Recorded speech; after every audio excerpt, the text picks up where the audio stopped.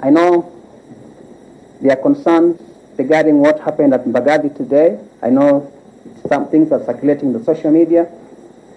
But we are enhancing as a people, not as a government, but as a people of Kenya, our capacity to be able to train all our health workers.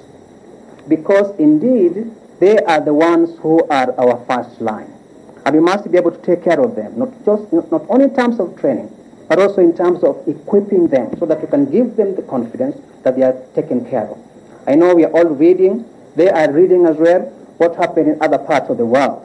And therefore, as a country, we must be able to learn from the experience of others. And therefore, to us, they are very, very critical for us. And therefore, the case that happened in Mbagathi has been sorted out. They have been given equipment. They're going to be trained. However, I must also say this, that Mbagathi, what happened there was not part of activities at the isolation center. This is normal Mbagathi District Hospital personnel. But because some of our people who go to be you know, tested, go to want to be checked, they are passed through the same gate.